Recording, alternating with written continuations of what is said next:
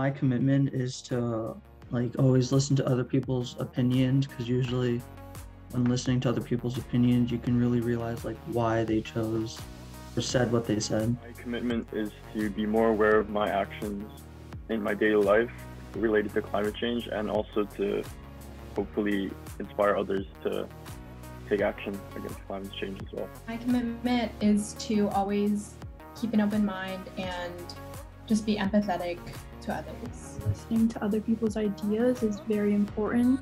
And if you guys can't find common ground, try to make connections and do whatever you can so you can work past those roadblocks. My commitment is to hear out others' opinions before making assumptions, uh, use what I learned to be wiser with my consumption choices, and forever be passionate about social and environmental issues. I commit to talking to people who don't have the same views as me because there's still common ground between me and them.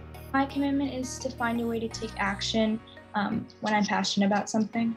My commitment is to get out of my comfort zone more often. To commit and integrate a more empathetical understanding and critical thinking skills so that I can find like the um, most efficient and like better solution.